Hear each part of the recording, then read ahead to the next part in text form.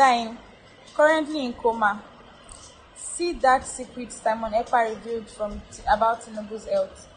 The abrupt and unanticipated revelation of President Bola Tinubu's coma has rocked Nigeria's political scene. The country is in disbelief as it considers the ramifications of this extraordinary event. There is a noticeable lack of customary pomp and extravagant gestures that usually follow the president's return to Nigeria. Instead, there is an unsettling calm and an air of unease being in charge of Nigerian politics for many years. President Tinubu is an expert at grandstanding and political maneuvering. His,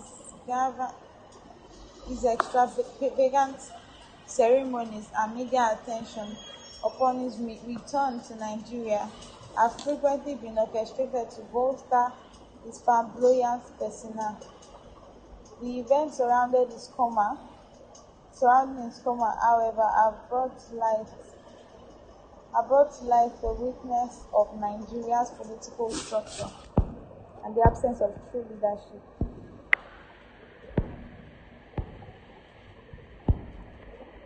Nigerians want a government that works for them, not one that is cloaked in secrecy and lies. Nigeria has the chance to reshape its political landscape and demand a more transparent and accountable administration at this pivotal junction. To guarantee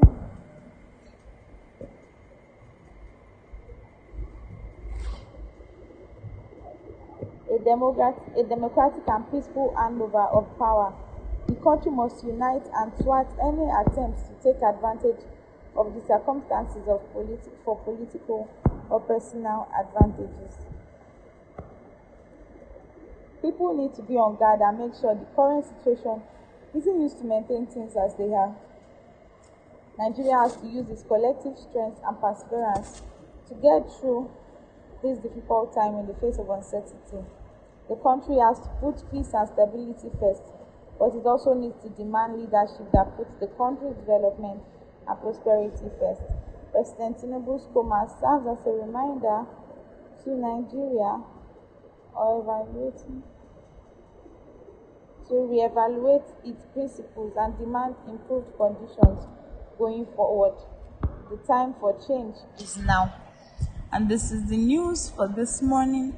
Don't forget to like this video, comment under this video, and subscribe to this channel to get more news like this from this channel.